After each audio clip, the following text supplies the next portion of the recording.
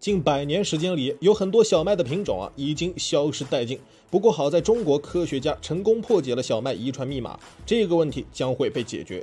欢迎来到科普启示录，我是小强哥。小麦作为全球重要的粮食作物，在养活世界人口方面发挥着至关重要的作用。然而，如今的小麦面临诸多问题。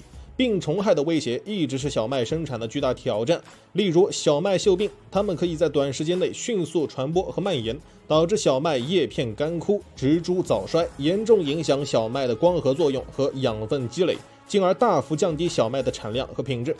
白粉病也是常见的病害之一，它会使小麦叶片表面布满白色粉状霉层，影响小麦的正常生长发育。此外，还有赤霉病、纹枯病等各种病害，时刻威胁小麦的健康生长。但是这些都还只是常见的自然灾害，影响再大，无非也就是产量。对于专门研究农作物的科学家来说，最担心的还是小麦品种消失。据说，从上世纪绿色革命开始，小麦一万年的驯化史和小麦的遗传多样性啊，就发生了急剧改变。可以说，只在一百年的时光里，高产和化肥适应性的品种代替了曾经丰富多样的品种。也就是说，小麦的产量虽然提高了，但是呢，品种数量却减少了。而且，随着全球温度的剧烈变化，也会影响小麦的生长节律，使其生长发育紊乱。这些谨慎的品种也有消失的风险。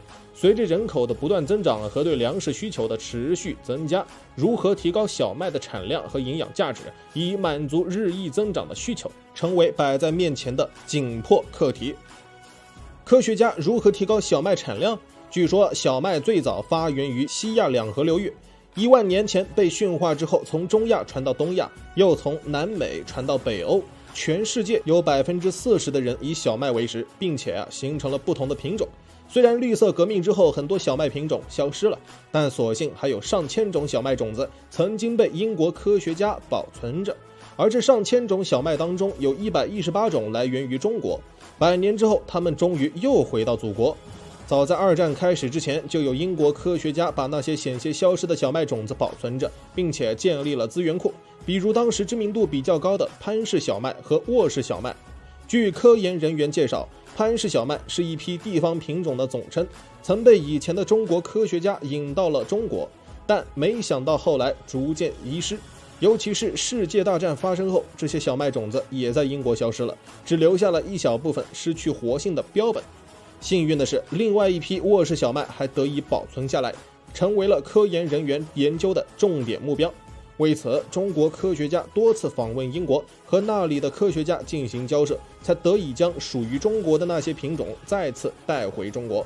早在2019年的时候，中国农科院的研究人员就把上千份来自世界各地的种子种在整齐划一的实验基地里，然后就日复一日地进行观察。这些小麦姿态各异，高矮和粗细啊各不相同。科研人员每天要守着田地里，收集每一株小麦的性状，还要记录它们何时出苗、怎样分叶、间节距长短、穗粒数量多少等数据，然后还要在实验室里对它们的基因进行分析。中国农业科学院的科研团队在构建小麦全基因组遗传变异图谱的过程中，面临着诸多技术难题和挑战。他们需要从海量的小麦样本中提取高质量的 DNA，并进行精确的测序和分析，然后啊，将这些基因信息和英国的历史数据进行比对，形成一套史无前例的小麦表型组矩阵。小麦遗传密码是如何被破解的？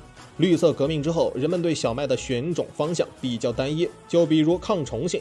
因为人们有了农药杀虫剂，所以对小麦的抗虫特性重视程度啊就会减弱，而是更偏向于高产和抗倒伏的能力。这样的话，具有抗虫性的小麦就会逐渐消失。但是现如今化肥农药的弊端开始显露出来，同时全世界气候环境恶化，能力单一的小麦已经对付不了，所以科研人员就要从以前的小麦品种中找到失去的基因，这就需要先进的实验设备和精湛的技术手段。科研人员们精心设计实验方案，不断优化实验流程，以确保测序结果的准确性和可靠性。据科学家说，研究小麦基因啊极其复杂，因为小麦的染色体有六套，但要知道人类的染色体只有两套，包括水稻也只有两套，还有很多生物啊都是两套。通常来说，染色体越少，遗传规律也简单，也就越好研究。所以，像小麦这样的基因，在过去一直被叫做作物界的珠穆朗玛峰。要研究小麦的遗传规律啊，太难了。不过再难，工作也得继续做下去。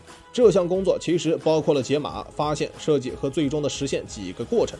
为了能够完成如此庞大的工程，中国科学家甚至要和国际一起合作，把这些研究的小麦的遗传和变异基因绘制成图谱。然后用这些图谱进行对照，挖掘那些未被开发的有利基因，然后再对这些具有优秀基因的品种进行杂交育种。说起来是很简单，做起来可就难了。因为这些品种虽然某些方面很优秀，但总会出现不优秀的一些方面，比如产量高的可能会伴随蛋白含量少，颗粒大的颗粒数量可能就会变少。想要找到各方面都称心如意的品种，难度可想而知。不过再困难，最后问题还是被科学家解决了。科研团队发现了一百多个高质量的沃氏小麦携带的有利基因片段。据介绍，全世界的小麦虽然品种众多，但归根到底可以分为七个祖先群，而现代的小麦品种主要就是来源于其中的两个。也就是说，还有很多优秀的变异还未被发现和利用。在这项研究中，科研团队就发现了一些优秀片段。比如可以调控小麦高产，提高小麦对氮的高效利用，增强小麦的适应性和营养品质等。所以，一旦把小麦的这些能力开发出来，在农业技术上将是一次里程碑式的成就。那么，你认为破解小麦的遗传密码将会对我们的农业带来哪些改变？欢迎在评论区留言讨论。我们下期见。